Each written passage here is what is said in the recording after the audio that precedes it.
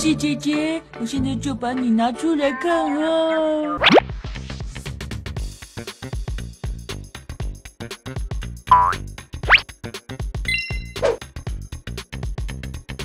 そしてキャンペーンアンバサダー内田有紀さんがマウンドに上がっています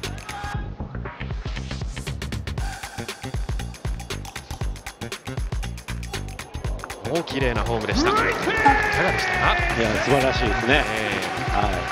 ー、高木さんもちょうどこうい。そうなん世です。世代と言いますかね。えーはい。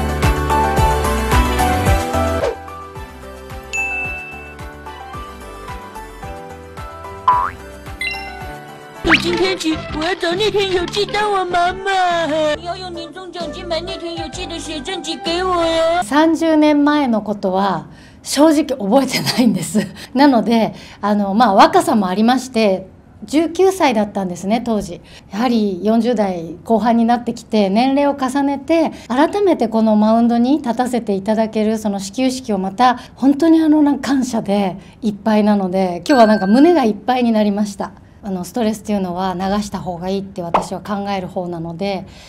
お風呂掃除をですね真っ白になったらもうすっきりストレスがなくなるタイプなんで毎日自分に拍手。あの年齢を重ねてくると人から褒められること少なくないですか？あのよくやったねとか頑張ったねって子供の頃みたいにいろんな人が褒めてくれないから 自分で褒めるんです。小さいことでもいいんですけど毎日自分をあの大きく褒めてあげる。そうするとなんか生き生きと年が重ねられるような気がしていて年齢を重ねるといろんなことが体の不調も出てきます精神的にもいろんなことが出てくるんですけどそういうことを乗り越えるためにも自分に拍手。これを挑戦して続けていきたいなって